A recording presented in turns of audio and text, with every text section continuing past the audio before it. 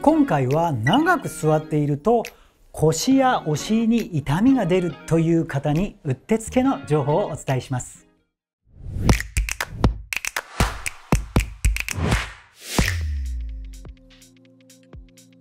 この模型はこの脊柱ですね。この背骨の模型なんですが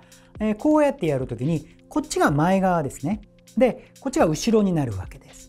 そして皆さんは座骨という骨これを聞いたことがあるでしょうか？座骨というのはどこからね？名前の通りこの座っている時に当たる骨です。ここが座骨というんです。ね座骨。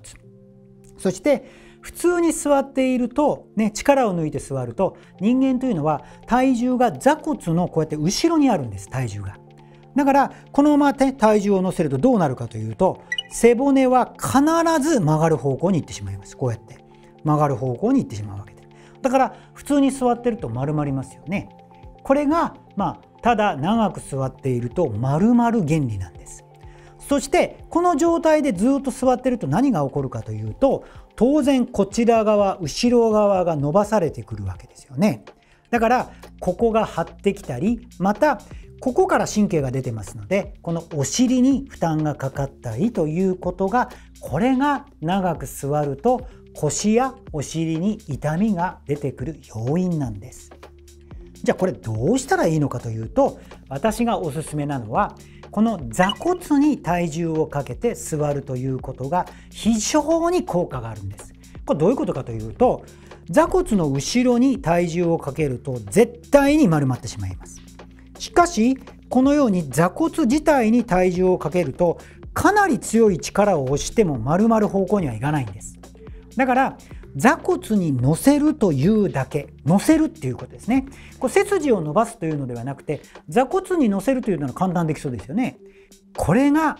長く座っていると痛いという人にとって非常に重要な考え方になるんです。ね、もう一度言いますよ。座普通に座っていると必ず座骨の後ろに体重がありますので普通に体重をかけると必ず丸まる方向に行きます。しかし座骨に乗せることができたらそしたらね丸まる方向には簡単にはいきません。ね、背筋を伸ばすのはすぐ疲れてしまいますが乗せるというのは比較的容易にできますのでこれを実際にどうやってやるのかこの方法を皆さんにお伝えしたいと思います。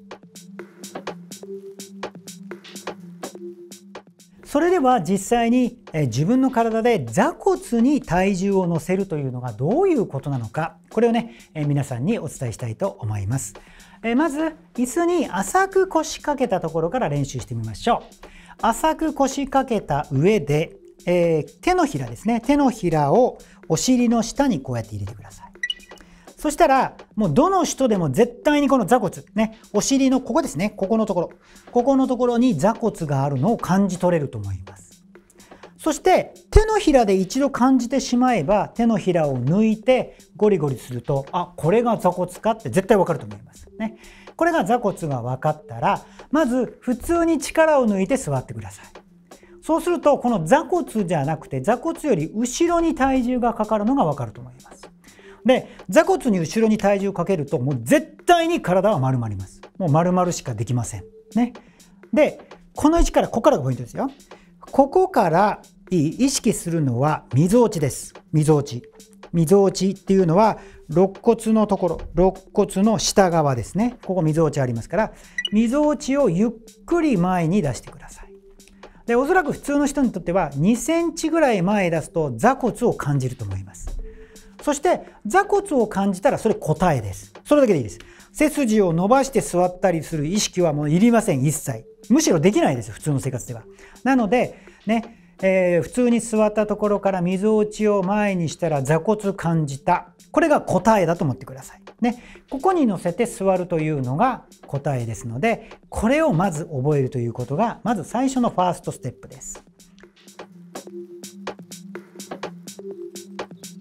そして次のステップそれは何かというと実際に座る時というのは普通に背もたれに持たれて座りますよね。そしたら背もたれに持たれると普通に座ると絶対に座骨の後ろに体重かかってしまうんです。だから背もたれに持たれてこうやって座ってるとだんだんこう体丸まってきますね。で場合によっては顎も前に出てきてしまいます。ね。じゃあこれどうしたらよいのかというとこの位置からね背もたれにねこう持たれた状態持たれたままですよ。持たれたままで水落ちをこのままぐーっと前に出していきます。そうすると2センチぐらいこの場合もま1センチか2センチぐらい前に出すと座骨感じます。つまりこれどういうことかというと斜めに座骨に乗っているわけです。そしたらこれだけで背筋も伸びて、まあ、いわゆる腰とかお尻の負担が絶対に最小限になります。これが非常に大事な座り方ですね。この座り方を覚えてください。でこの座り方は車の運転のようにこういう感じのねこうこういうになってますよね。この時も同じなんです。この時も車の運転なんかもちょっと水落ちをこう出した状態で運転するというような形にすると座骨に斜めに乗った状態で運転できますのでこの状態こう言って丸まったこの状態で運転するのかこの状態で運転するのかは全くこの負荷が違いますのでこの方法を皆さんに覚えていただければなというふうに思いますよ。そして実際に行ってみてね、えー、もしあ確かに楽だなと思ったらこれをねできるだけ多く意識してみてください。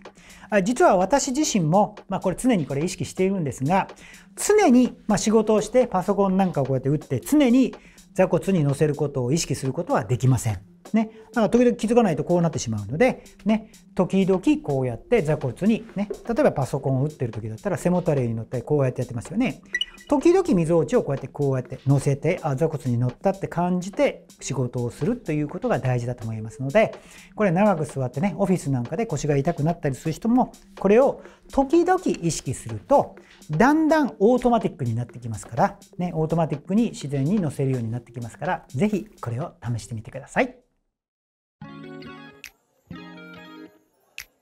どうでしたか？今回は長く座ると腰やお尻が痛いという方のためのまあとっておきのね座骨材というんですけどその方法を教えさせていただきました。ね、これからもね良い情報をどんどんお伝えしていきますのでよかった方は高評価とチャンネル登録お願いいたします。